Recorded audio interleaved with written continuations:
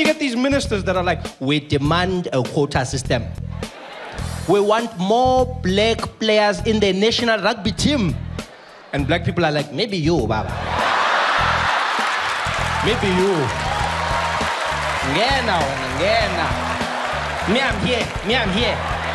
Me, I'm here.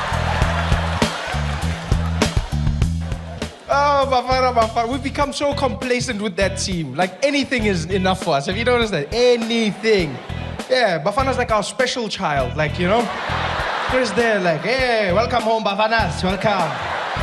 What happened? What happened? Oh, you got a D. Well done, boy. Well done, boy, boy.